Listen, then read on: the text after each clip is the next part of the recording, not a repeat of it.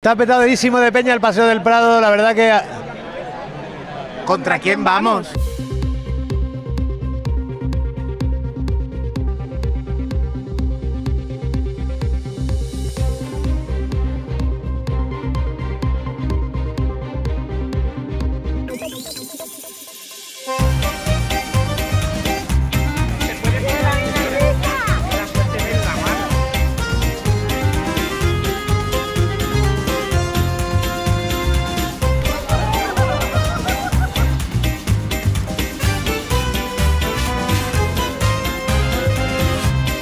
Quites la tapa, que no está grabando nada. Dios. Yo no sé qué coño pasó el sábado. Me echaron droga en el alcohol. Tengo como, como visiones satánicas. Como un diluvio universal entre fulgores rojigualdas y civiles melancólicos. Una especie de ejército de las tinieblas. Se me apareció Satán en forma de macho cabrío. Recuerdo a nobles animales sacrificados, convertidos en perros cancerberos del infierno. Y luego apareció la sacerdotisa para iniciar los sacrificios humanos. Es verdad que estamos en un círculo perverso. Y entonces profanaron lo más sagrado. ¡Pedro Sánchez, hijo de puta! A duras penas puedo decir que soy Héctor de Miguel y casi me alegro de que sea lunes 14 de octubre y de que esto sea hora veintipico. Tu ritual de magia blanca contra el patriotismo rancio. Nacional. Pero ¿quién quiere una casa teniendo un país? Sí, sí, lo digo por vosotros y vosotras que fuisteis a la mani de la vivienda. Y sí, te vamos a ofrecer un amplísimo y estupendo reportaje. Y de hecho aquí tienes un adelanto, a modo de fianza, por si rompéis algo. Nadie ha visto venir que el Chocas viniese a la manifestación de la vivienda. Y después de la masiva manifestación del domingo, a la que sobre todo fueron jóvenes, ¿qué es lo que habrá propuesto Pretty, aparte de declarar España zona catastrófica y quizá pedir ayuda humanitaria. Vamos a poner en marcha el reparto de 200 millones de euros para jóvenes eh, de alquiler, en los bonos de alquiler. ¡Un bono! Bono, el mismo puto bono que anunció en octubre. ¡Un bono! Ya están los caseros, bien, más pasta. O sea que ya no van a ser solo los inquilinos los que van a enriquecer a sus caseros. También lo vamos a hacer entre todos con dinero público. ¡Bravo! No sé por qué me riñe. ¿Se puede ser más progresista? Pero si hablamos de vivienda y gente desubicada, hablemos de Risabel, la ministra de Vivienda, a la que la protesta parece que le ha removido cositas. He calificado la situación sin paños calientes de emergencia social. Estamos ante situaciones dramáticas que conocemos bien. Lo que ha sacado en claro la ministra es que necesitamos ir al psicólogo, porque este gobierno no te ofrece quizá una regulación de los alquileres, pero sí un hombro sobre el que llorar. Por todo ello, en hora veintipico y en colaboración con el Ministerio de Vivienda, hemos puesto en marcha algunas medidas para paliar la situación. Venga, id saliendo en orden de precarización, porque es que si no me insensibilizo y ya no me afecta. Venga, el primero, a ver. Hola, Hola, buenas. ¿qué tal? ¿Cómo estás? tardes. ¿Qué te pasa? Pues que en el piso en el que estoy tengo unas humedades enormes. Ay. Eh, tengo tanto moho que escupo cabrales. Qué cosa, ¿eh? Bueno, mira, toma, un bono, un bono. Ay, ¿eh? Y va una mascarilla dentro. Bueno, bueno, bueno, esto es ¿eh? increíble. A lo mejor te pido el respirador de Carmena, si hace Muchas falta. gracias. No te preocupes, todo irá bien. Y Yolanda Díaz te dará la razón en Twitter, qué ¿vale? buena es, qué buena. Gracias. Nada. A ver, el siguiente, por favor. Madre mía, es que no hacen más que quejarse del gobierno con lo bien Ya. que les tratamos. Venga, Total. ¿qué te pasa a ti? Pues mira, yo comparto pisos Getafe con la legionaria de Gran Hermano y está todo el día follándose policías ahí en casa, en el piso. Ya. Y es una movida. Bueno, pues te vamos a dar eh, un CD con el himno de riego, te lo dan en la puerta, que eso les baja la libido. Y unos auriculares.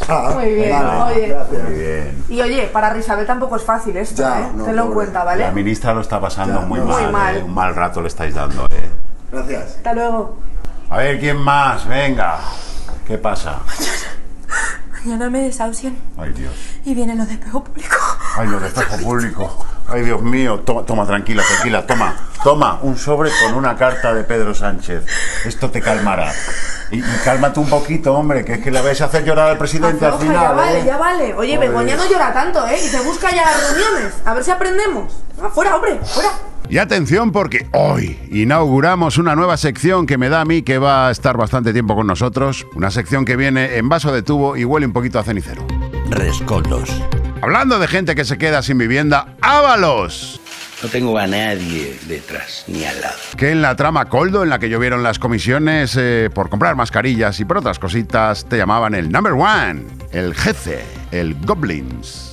Y seguramente algunas el papito. Quizá le llamaban el goblins porque su frase estrella cuando cerraban las comisiones y se iban por ahí a celebrarlo era madre mía, voy todo goblin. Me he quedado estupefacto con esto. El exministro y ex colaborador de Todo es Mentira eh, está acorralado por el caso Coldo. Es cuestión de tiempo que le imputen y estos días hemos ido conociendo algunos detalles de los informes de la OO. Por ejemplo, los motes. Ábalos el Goblin, Coldo el Grandullón y Jessica, la entonces amiga especial de Ábalos, a la que apodaban cariñosamente la 20 Minutos, porque era su periódico favorito. Claro, cariño. También hoy hemos sabido que a Ábalos se le prestó uno de los móviles que el comandante Villalba facilitaba a los miembros de la presunta organización criminal. Aunque viendo los motes dudo que las conversaciones fueran el peor contenido de ese móvil. ¡Uy, guarrindonga! Aparte del alcance de esta trama, mediante la cual Coldo y Aldama vendieron mascarillas durante la pandemia a diferentes comunidades autónomas gracias a los contactos de Ábalos, las pesquisas también detallan que la trama le pagó 88.000 euros de alquiler a Jessica, a razón de 2.700 euros al mes. Un buen piso porque, claro, ahí podía guardar bien los ejemplares del 20 minutos. Y por fin alguien del PSOE se da cuenta de que una de las posibles soluciones al problema de la vivienda es pagarle a los jóvenes el alquiler. Pero también es un bien de mercado. Después de ir conociendo todas estas informaciones, Ábalos pidió el viernes ir a declarar voluntariamente, porque se ve que dijo,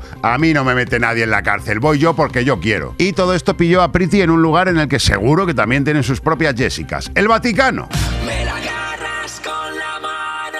El único lugar donde se pueden confesar todos los pecados de Ábalos. Al salir del encuentro con el Papa, Priti dijo esto. Que no va a haber impunidad y que, a diferencia de lo que ha ocurrido en épocas pasadas, eh, con mi gobierno, si hay algunos casos de corrupción, que tendrá que ser la justicia y las fuerzas y cuerpos de seguridad del Estado quien lo determinen, pues desde luego no va a haber impunidad. Uf, qué tajante y qué claro, ¿eh? He echado de menos algún bono, pero con lo que no fue tan claro ni tan tajante fue con la historia de Delcy Rodríguez, por aquel entonces vicepresidenta de Venezuela que se reunió con Ábalos cuando no podía pisar suelo europeo por ser considerada por la UE cómplice de represión, porque es la segunda de Maduro. Así que Monedero pues ya no puede volver. Acabáramos. Ha habido muchas versiones de la reunión, que si Priti lo sabía, que si no lo sabía, que si había más maletas que comisiones, que si unos lingotes. Pero por ahorraros el trajín, la nueva versión es esta que nos explicó la portavoz Alegría. Única y exclusivamente hubo una parada técnica por propio, si me permiten, descanso también de la, del personal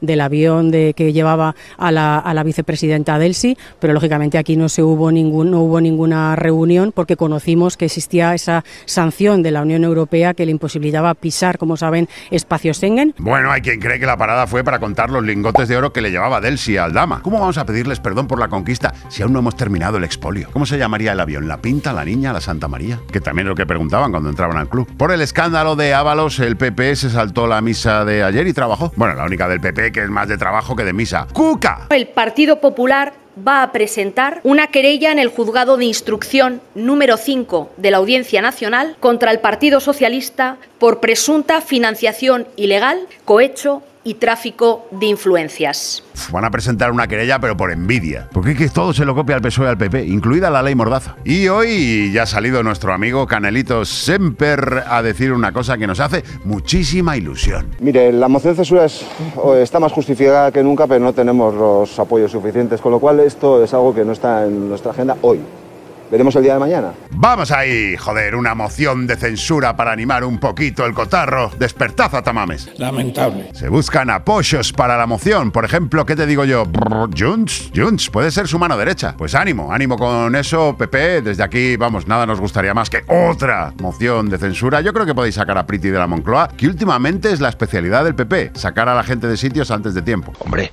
En hora 20 y pico tenemos la pieza clave, la que falta para que caiga este gobierno. Una información que nadie quiere que leas y por la que probablemente nos cancelen el programa en láser. Pero me debo al periodismo, así que voy a dar la noticia, aunque me vaya la mansión en ello y las 25 plazas de garaje. Es de Vox Populi, ¿eh? tampoco vamos a... Vox Populi. Leo, la novia de Ábalos, Jessica, era vecina de David Broncano en el piso que le pagó al dama. ¡Ay! ¡Ay! ¡Ay! ¡Ay! ¡Ay! ¡Ay! ¡Ay! ¡Ay! ¡Ay! ¡Ay! ¡Ay! ¿Oís eso? Es la rotativa del New York Times parando. Espérate que no haga manos limpias una denuncia con todos los fakes de broncano de internet. Y hasta aquí la primera entrega de Rescoldos, que promete ser la primera de muchas, porque se nos han quedado cosas fuera. Como por ejemplo, fíjate tú, la casualidad que el chalet que utilizaba la trama para sus cosas está en la misma calle y muy cerca del que utilizaba el rey con Bárbara Rey. ¿Y la casualidad? Rescoldos, la sección en la que le preguntan al PSOE por la corrupción y te dice que si quiero o que si tengo. Malvivienda. Todos tenemos derecho a una vivienda, como si fuéramos una amiga especial de Ábalos. Por eso enviamos a nuestro reportero Miguel Martín a la mani de ayer. El reportero ideal, una persona que está compartiendo piso a una edad avanzada y que mantiene esa actitud adolescente. Esto es el Paso del Prado, ¿no? Ahí al fondo, detrás mío, estaría Neptuno. Y allí Atocha. Allí, cerca de Neptuno, se supone que está la cabeza de la manifestación. Aquí Comisiones Obreras y UGT. Vamos a ver si vemos a alguien de Comisiones Obreras y UGT. No podemos seguir manteniendo que los trabajadores y trabajadoras tengamos que invertir el 100% de nuestro sueldo en el acceso a la vivienda. Hay que sacar a los fundados buitres que reviertan las viviendas que nos han robado porque se hicieron con dinero público. ¿Sabes dónde está la parte de los políticos por casualidad? Ahí pone Podemos. Buena pista. Está usted solo de Podemos. ¿Cómo vamos a estar solos? Estamos aquí preparando ahora mismo el cortejo. Esto es la grada joven de Podemos, por lo que veo. Primero mandan a los mayores a que abráis el camino y ya, Vamos a y ya decir. luego vienen los jóvenes que estarán de resaca, ¿no? Lo- luego vienen todos. Carlos, ¿qué pasa? Que no puede ser lo que está ocurriendo. La vivienda no ha sido nunca un derecho. Esta es la primera medida que Mira, lo, lo- lo primero es que el 2% del PIB, que sabéis que queremos dedicarlo a armas, eso no es una prioridad ni en mi barrio, ni en Madrid, no ni en ninguna ciudad. El 2% a vivienda barata de alquiler para la gente. Quiero enseñar al señor más de izquierdas de que se ha teñido la perilla de rojo. ¿Cómo vas de piso? Bien, yo soy casero. Pero eres buen casero, ¿eh? Llevo sin subir el IPC cuatro años. Este tío es Dios. A mí es que me han echado de otra casa que está alquilada también, entonces me jode. ¿Cuánto cobras de alquiler? 525 en Vallecas. ¿Y cuándo se va de tu piso? Dentro de, de dos años, creo que es. Eh, Píllame el teléfono, tío, que yo estaré buscando todavía. sí, faltan dos años y lo mismo ya me hace falta a mí. Arranca la manifestación, esto se mueve. Así que, pues, pues venga, vas a manifestarnos. ¿Cuántos pisos tienes? Tengo 10 pisos, pero los alquilo muy baratos. ¿A cuánto? Nada, 300 euros el piso. Estoy buscando. Tres habitaciones. Estoy buscando. y no es broma. Comparto piso. ¿Cuánto llevas compartiendo? Buah, desde los 18 años. ¿Y cuántos años tienes? 38. ¿Alguna vez has vivido solo? En la puta vida. Clara es fan del programa. Super fan del programa. Y es propietaria, tiene tres pisos. Tengo un alquiler. ¿Vives sola? No, comparto piso, gracias a ¿Con- Dios. ¿Con quién? Con mi pareja. Ah, con tu pareja. Y nos fuimos a vivir juntos por eso. ¿Os fuiste para... ¿Hicisteis la típica de ¿para qué vamos a pagar dos alquileres Tal cual. pudiendo pagar uno? ¿Está, está aquí tu pareja? Sí. ¿Os arrepentís? No. No. ¿Ha salido No, bien? no. Menos mal. La jaula del canario me alquila Don Hilario. Esa está guapa, ¿eh? Tú en un zulo y Ayuso sin regular los alquileres. Otro cartel está guapo, ¿eh? Con fotaca, buena calidad, se ha dejado dinero. ¿Cuánto te ha costado el cartel? Me lo han dado mis compañeros. Dame otra idealista. Dame otra idealista. Esta, esta está muy bien, ¿eh? Tú ya te la has inventado. No, no, de un amigo, de un amigo. no, de verdad, te lo prometo. Joder, Buah, esta es buenísima, ¿eh? Ya tengo la maceta, me falta el balcón. Bueni- esta es buenísima, ¿eh? ¿Eh, eh, ¿Es tuya? Es mía, es mía. Buenísima, ¿eh? Muchas O sea, de- gracias. De, momento, de momento vas Es ganando. original, ¿eh? O sea, eh, La planta es de Ikea, no puedo permitir una normal. a quien acabo de ver que esto sí, no nos lo esperábamos. Gracias por venir, a ti no te esperábamos, la verdad. A mí no, bueno, eh, me he estado pensando, pero al final pagar 900 pavos por una Pero casa. tú, pero tú vives, tú tienes una mansión ahí en La Coruña, ¿no? Sí, sí, sí, efectivamente. ¿Vas a hacer directo hoy? de- de la Hoy desde aquí, desde aquí la vamos a, la vamos a montar. He cambiado de idea. Soy un hombre nuevo. Nadie ha visto venir que el Chocas viniese a la manifestación de la vivienda. Ahí está la manifestación, han cortado esta parte del Paseo del Prado que está abierto al público y ahí está el bus turístico. El guía diciendo, y a la izquierda tenéis el Paseo del Prado. Eso de la izquierda es el Paseo del Prado. A la izquierda el Paseo del Prado. ¿Qué sería una manifestación sin una batucada? Los Carliños Brown de Lavapiés. Mira quién es, Javier Mira Gallego. aquí. Mira, es Javier Gallego. Lo primero que haría es regular el mercado del alquiler, hacer cumplir la ley de vivienda y mejorar la ley de vivienda que hay, que es claramente insuficiente, construir más vivienda pública, liberar muchas casas que están ahora mismo sin liberar y al mismo tiempo obligar a la gente a alquilar. Mira con quién estoy, ¿eh? Marina, José. Tenemos consignas guapas desde el programa, ¿verdad, Marina? Sí. Sola, borracha, quiero estar en mi casa. Sola, borracha, quiero estar en mi casa. Sola, borracha, quiero estar en mi casa. La gente está cantando con nosotros, como podéis ver. ¡Que Pedro! ¡Tenedores! Eh, ¡A los tiburones! ¡Grandes tenedores! ¡A los tiburones!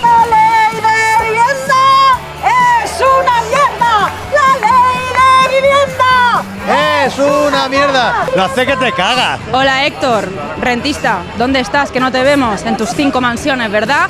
Pues eso, mandas aquí a tus trabajadores. ¿Dónde estás? Hostia, esto, Héctor, te juro que esto no lo he visto venir, ¿vale? Yo no, no tengo nada que ver con estas polémicas declaraciones. Internacional. Y más eh, gente con difícil acceso a una vivienda. Israel bombardea una escuela y tiendas de campaña instaladas en un hospital. A ver, Netanyahu, hombre, joder, que lo que estábamos en contra no era de los campos de refugiados, era de los glampings. Cocina un poquito, Netanyahu, que te va a cambiar el carácter. Se ha debido pensar que Quechua era el nombre del nuevo líder de Hamas. Pero guardaos un poquito de indignación porque hoy ha estado en el hoy, por hoy, el ex ministro de Exteriores de Israel, que se llama como una canción de Chanel. Slomo Benami. Yo no creo ni por eh, ni un momento que el ejército israelí apunta a civiles a propósito. Uf, No veía a Ángels tan incómoda desde que Sastre le puso la última de Manuel Turizo. Mira, no tengo un día muy bueno yo hoy. Pues eso, hombre, que resulta que Israel, pues esos civiles que ha matado, pues ha sido sin querer. Los 42.000, ¿eh? Igual ha sido un problema de puntería, que si ha sido eso, pues no les quiero vermear tampoco, ¿eh? Israel ve un descampado y dice, venga, me desahogo con este solar, que no hay nadie. Ahí va a un hospital. A lo mejor no estamos entendiendo las políticas de Netanyahu. A lo mejor lo que está haciendo es humanismo radical, empezando por eutanasias colectivas. Cultura. Según un estudio emitido por Radio Televisión Española, la otra cadena pública, Cristóbal Colón podría haber sido un judío sefardita español. Y- No, más chistes antisemitas, no. Ya por hoy ya no. Drama en el colectivo Millennial. La oreja de Van Gogh y Leire separan sus caminos. Alicia, tú no sabes de lo que estamos hablando, ¿verdad? La oreja de Van Gogh, hombre, Alicia. La Taylor Swift de, de los caseros boomers que pudieron comprar vivienda todavía. Alicia, no te suena, ¿no? Es la segunda vez que el grupo pierde a una cantante, así que a partir de este momento queda abierto el casting, supongo, para encontrar Que A recordarás la nueva las tardes de invierno por Madrid, de la oreja de Van las Gogh. noches enteras sin dormir, la vida pasaba y yo sentía que me iba a morir de amor. ahora que las cosas estaban bien en Euskadi. Que yo también tomo antidepresivos, ¿eh? Bueno, pues ser malos. Buenas noches, colegas.